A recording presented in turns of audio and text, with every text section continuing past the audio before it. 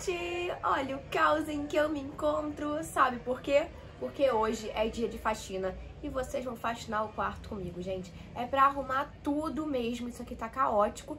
E esse vídeo, gente, foi ideia lá do Instagram, foi ideia da Solange, que ela comentou querendo saber o que, que eu fazia no domingo. E, gente, domingo é um dia que eu tiro pra cuidar de mim e pra cuidar do meu quarto. Então, assim, cuidar das minhas coisas, descansar, mesmo que às vezes eu me empolgo arrumando o quarto e acabe não descansando nada, eu fico o dia inteiro arrumando mesmo quando eu me empolgo. Mas o plano de hoje é conseguir terminar aqui o quarto até umas, sei lá, demorar umas três horinhas, quatro no máximo arrumando o quarto. E depois eu relaxo, assisto um filminho, normalmente com a minha mãe ou com o meu namorado. E aí a gente termina o domingo assim. E óbvio, domingo sempre é um dia que eu tiro também pra tomar um banho mais longo, hidratar a pele, esfoliar, pra ter aquele momentozinho meu e planejar a minha semana também. Então, assim, pra deixar tudo organizado, é isso que eu faço no meu domingo. E quando eu consigo fazer tudo, a minha semana fica muito melhor. E aí, gente, agora a gente vai começar e adivinha qual vai ser a primeira coisa que a gente vai fazer? A gente vai hidratar o cabelo, por isso, porque é otimização de tempo, tá? Vou passar um produtinho no meu cabelo pra deixar ele hidratando enquanto eu vou arrumando as coisas, porque aí quando eu terminar de, de arrumar o quarto e ele estiver tudo limpinho e cheiroso, eu posso ir tomar meu banho e ficar limpinha e cheirosa também, combinado? Pra vocês terem ideia do caos que se encontra isso aqui. Tem roupa aqui, tá, tá tudo horrível, gente. Tudo horrível, horrível, horrível. Aqui também tá um caos. A única coisa que está plena é a minha sapateira, porque eu arrumei ela no domingo passado. Então, ela tá limpinha e tá organizada. Eu acabei não filmando pra vocês, mas eu organizei tudo aqui. Agora, de resto, de resto é bagunça pura. Mas a gente vai resolver. Ó, eu comprei essa ampolazinha aqui, é um kitzinho da Pantene. Esse kit aqui vem quatro, normalmente vem só três. E aí tava lá na promoção, acho que por... Não lembro. Acho que era nove e pouco.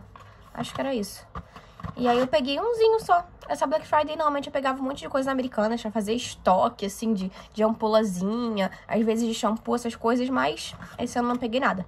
Até porque shampoo agora também eu tô viciada em shampoo da Eudora, então, assim, não tinha eles na promoção americanas pra eu pegar. Então, acho que são todas iguais nesse aqui. Vamos ver, aplicar o produto nos cabelos limpos e de preferência úmidos. Ué, gente, no cabelo limpo? Agora você me, me pegou.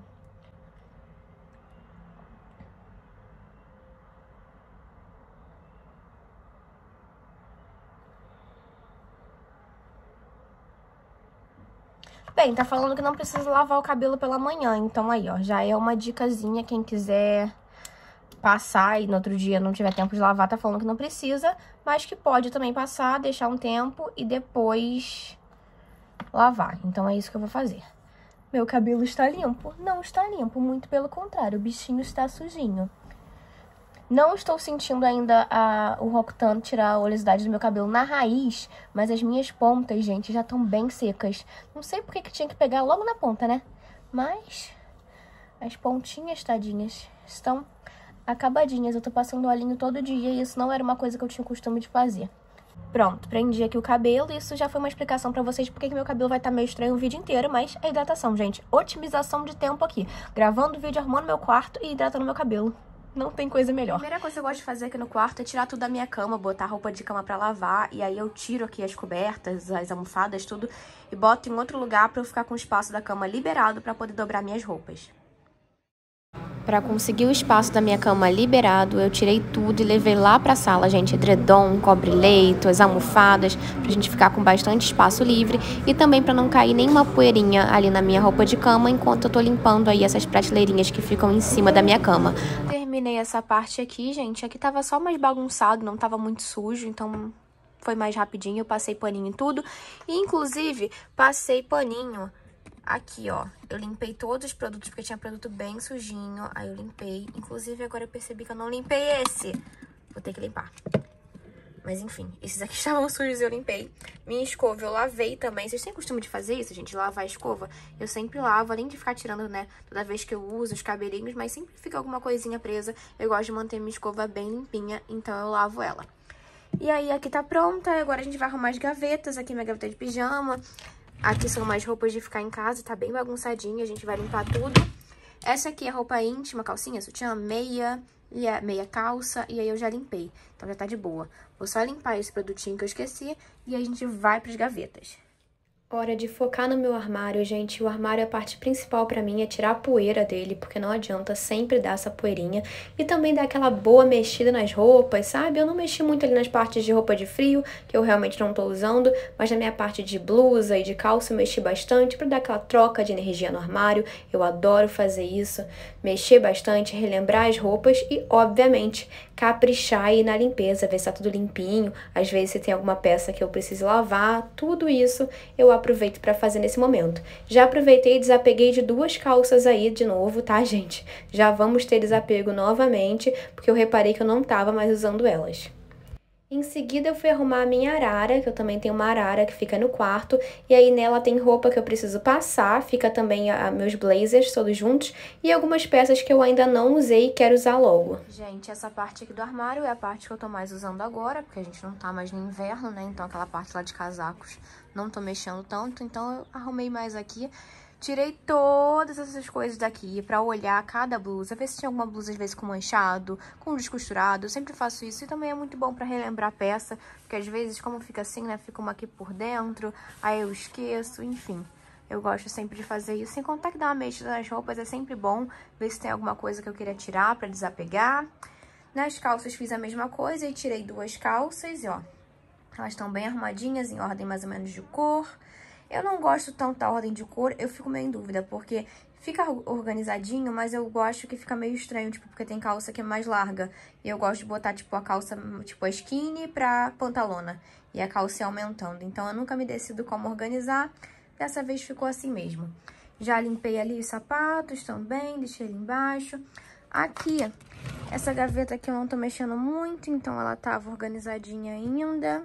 Tá assim. Aqui eu já tirei blusa também, fiz a mesma coisa, mesmo processo de dar uma olhada, pra ver se tinha alguma coisa pra tirar, alguma coisa que eu não tava mais usando. E aí agora tá tudo certinho.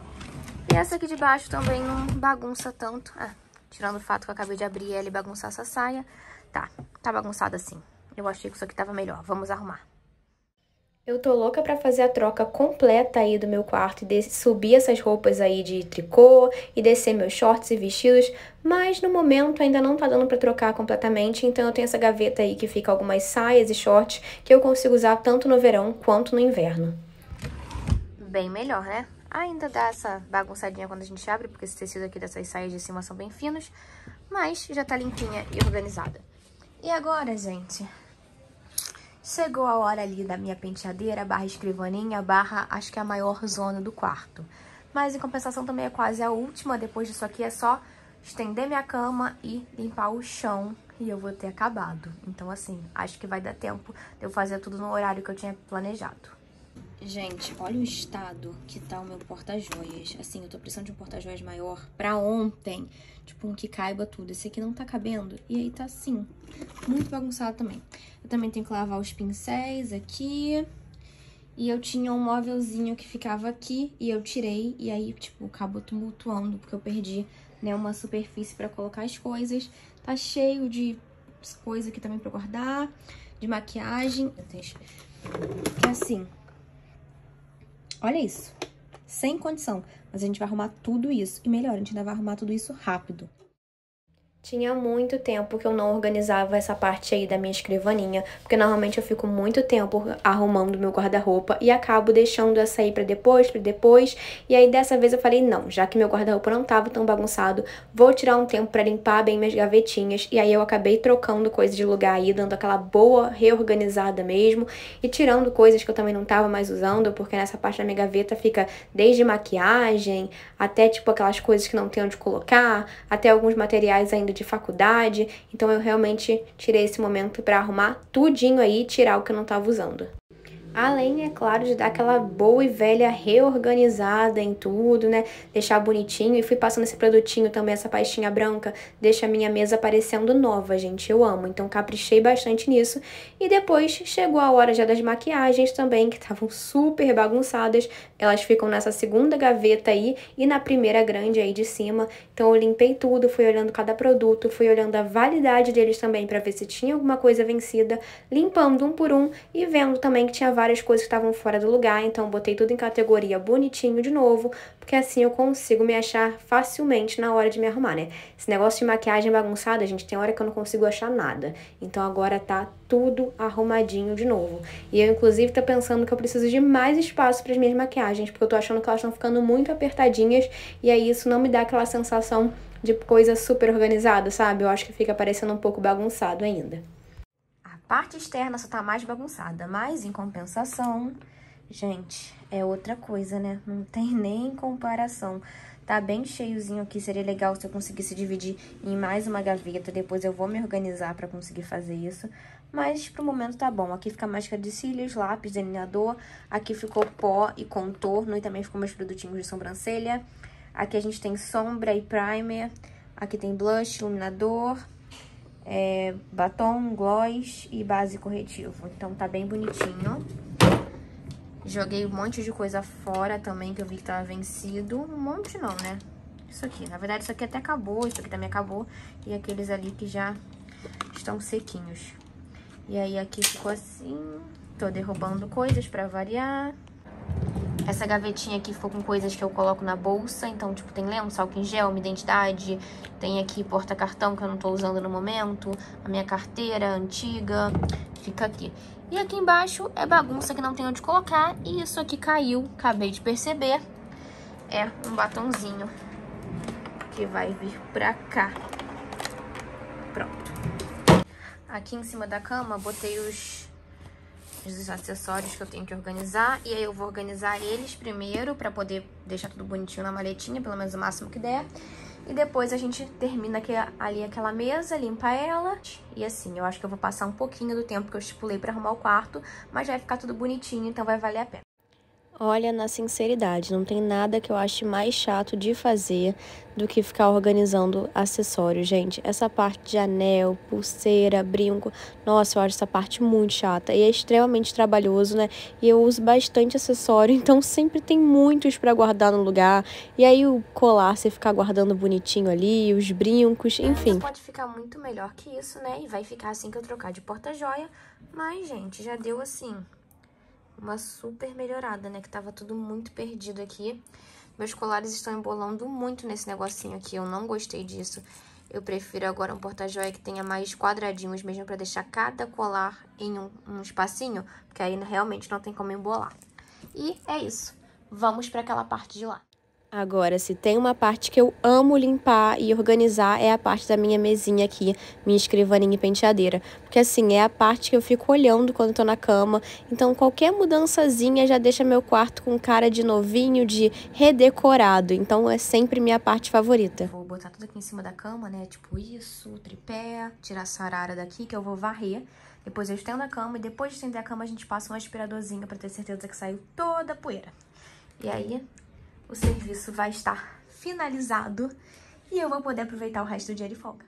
E chegamos na parte final que eu mais gosto, que é arrumar a cama, gente. Arrumar a cama dá um ar tão gostoso pro quarto e é uma coisa que eu faço todo dia. Não importa se eu não vou ficar em casa, se eu já vou deitar de novo, enfim. Eu gosto de deixar minha cama arrumada todo dia. É uma coisa que eu peguei assim de rotina mesmo. E quando eu troco minha roupa de cama ainda e posso deixar ela bem bonitinha, igual eu fiz aí com a dobrinha. Nossa, lindo, lindo, lindo. E eu sou apaixonada na minha roupa de cama. Com a cama arrumada, 50% do quarto tá organizado, gente. E pior que é verdade. Depois disso eu fui aspirando todo o quarto. Sinceramente, esse aspirador acabou com a minha coluna, mas valeu super a pena. Até a janela ali, gente, ó. Eu dei uma aspiradinha ali, funcionou muito bem. Finalizamos, gente. Tá tudo limpinho, tudo no lugar. O chão super aspiradinho. E a minha cama tá super arrumadinha e aconchegante. Agora só falta o quê? Tomar aquele banho bem gostoso pra eu poder deitar nela terminamos por aqui, gente. Tô mortinha, já passou das 5 da tarde, não rolou de terminar cedo o quarto. Mas tá tudo limpinho, tá tudo cheiroso, do jeito que eu gosto, então valeu super a pena. E eu espero que eu tenha motivado vocês a irem arrumar a bagunça de vocês também, caso esteja bagunçado, né? Se não, só aproveita pra descansar mesmo. Gente, se gostou do vídeo, já deixa o like, se inscreve no canal se ainda não é inscrito, ativa o sininho de notificação pra não perder nenhum vídeo e deixa aqui embaixo o comentário se você gostou, se você gosta desse estilo de vídeo, se você quer mais vídeos assim ou outras sugestões também são sempre bem-vindas. Um beijo bem gostoso e até o próximo vídeo.